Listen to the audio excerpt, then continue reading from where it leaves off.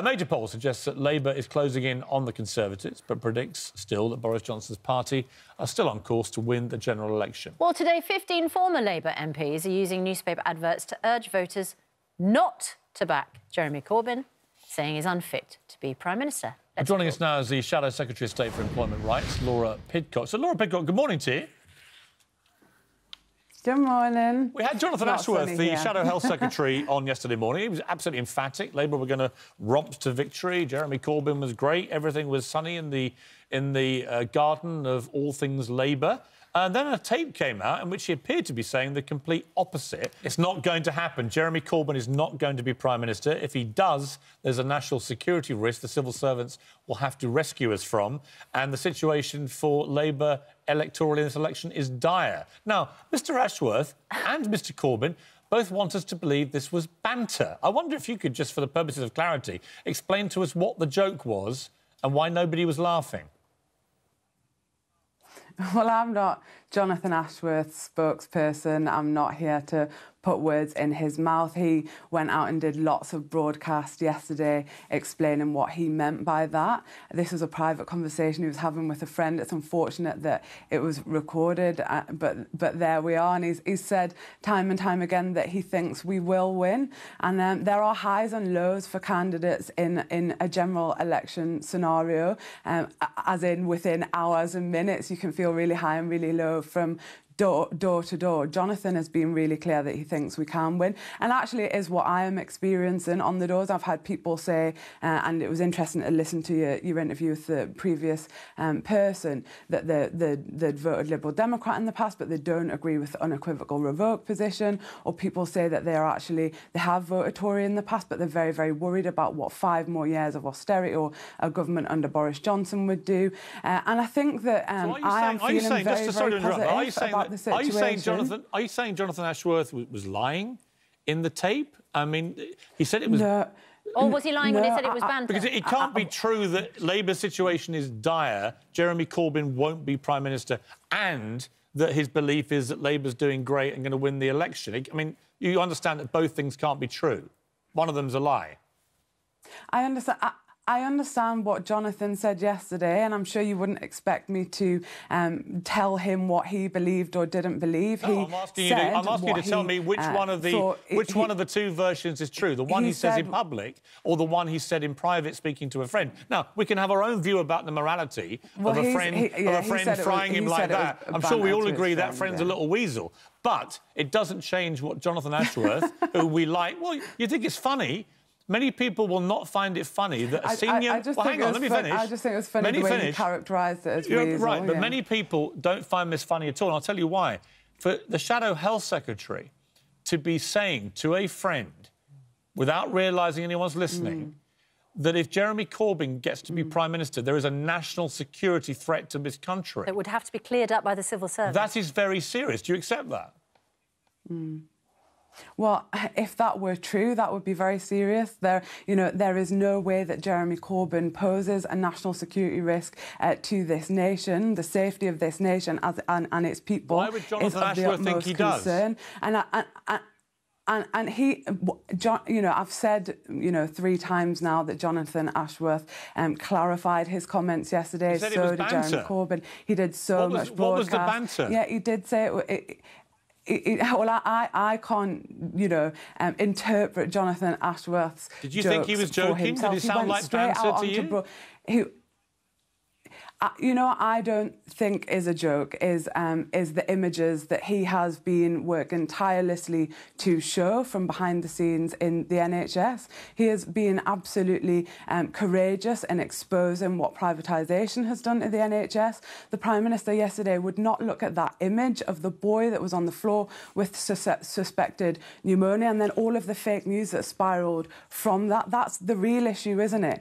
That actually our NHS is under the most incredible strain. Uh, and Jonathan Ashworth has done a very, very good job at exposing that and being very brave in saying yeah, that privatisation in the NHS. And for many end. people, that is absolutely the biggest issue of the election, and you are going full steam mm, ahead is, yeah. on that with that picture, little Jack Williamson on the floor. There's a letter by 15 former Labour MPs going to use an advertising bombardment today to urge voters not to back Jeremy Corbyn for Prime Minister. We've also got barely a third of the members of uh, Len McCluskey's Unite Union plan to vote Labour.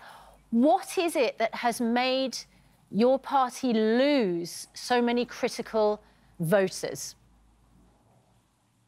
I just don't think we have. We are going to see people go to the polls tomorrow, and I am infinitely optimistic about that. I'm not just saying that. I'm a Shadow Secretary of State for Employment Rights. I wish to be the Secretary of State for Employment Rights, and I know what a critical change we could make in, in government that once and for all we could have a state, a government is Jeremy that Corbyn, is on the side as Jonathan of, Ashworth of does, people. or do you think part of the problem might be Brexit?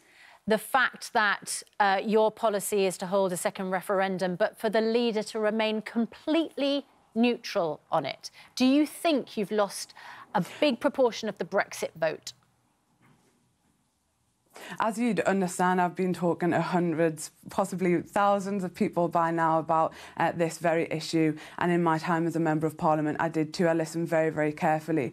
And people understand that actually the political class has failed. I'll just remind people that the Labour Party have not been in power for a decade, but the political class have undoubtedly failed on delivering Brexit. The withdrawal agreement was not good enough for the Labour Party. Many Leave voters that I have spoken to across the country um, are saying that they understand understand. I mean, the, the Prime Minister himself voted against the agreement two times. They're saying, well, it might have got us out, but it sold us out in, in the process. And they absolutely understand that you cannot have an unequivocal revoke position. Uh, somebody actually said to me there'd be, you know, th- there'd be so much tension and conflict if it was just ignored that result. But similarly, you have to go and try and get a credible leave option. And Jeremy didn't say he's staying neutral. He's going to be an honest broker okay, in the situation, go, considering he will have to, to lead. He will okay, have to lead the negotiations. Right. Who are you going to send to get this great new deal, given that almost every senior member well, of the Labour Party doesn't want a deal? Well, I'm, I'm not sure that's true. Every single person is um, standing it? on a manifesto. Who would negotiate that deal for Labour? So there'll be a, There'll, there'll, be lot, lots of different people involved, I'm sure, one? and I'm hoping. Can you name one who um, genuinely on, wants a good new deal on, to leave? On the employment. Yeah, people are standing on a manifesto that says they will go to Brussels Can you name one senior member of the Labour shadow shadow cabinet? Name, name one senior one Jeremy who you could Corbyn, send for in, instance. who you could send in who genuinely wants to well, get a great new leave deal. Yeah, so you will know that the Labour Party has already had discussions with the European Union in very good faith, and we are all saying we are going there with, with an open mind. Well, you know, Richard Burgon went, Keir Starmer went, um, Rebecca Long Bailey has been absolutely brilliant in the negotiations. Keir Starmer has all, he came on the show and said, "I want to remain." Do you understand why Leavers who've got a you're chance to vote tomorrow who... might be slightly sceptical if Keir Starmer is the guy you're going to send, given that he's already stated, for the record, I want us to remain in the European Union? Why would you think he'd get a great leave there deal out of the EU, given he wants the... to stay in? So there will be lots of different people that they negotiate the different elements of the withdrawal agreement. Yeah. And every single person, and it is a solemn promise, that manifesto, um, that absolutely magnificent manifesto that has been produced by the Labour Party, yeah. that says very clearly our strategy. Jeremy Corbyn will, of course, be the lead negotiator okay. as the Prime Minister of this okay. nation. Okay. But the, this election is, is about two scenarios, Piers. You know, there are 14.3 million people in poverty, 9 million of which are in working households, 4 million children in poverty. We saw that despicable image of that poor child on the floor yeah. in a hospital. This cannot go on. We are, you but know, you've seen Ken Loach's film, maybe. I, where, yeah, I understand you, but running yeah. a country is also about yeah. protecting the people of this country Many people, as I said, would have been very yeah. concerned that Jonathan Ashworth, Shadow Health Secretary, has said he has genuine, serious concerns about Jeremy Corbyn becoming Prime Minister in terms of our national security. One of those concerns, he didn't articulate it, but we have had this debate with him, and he disagrees with the leadership on this. One of them is that Labour's position on the Trident nuclear defence system, which is designed to protect us from any nuclear conflict, uh, and will cost 200 billion pounds to the taxpayer.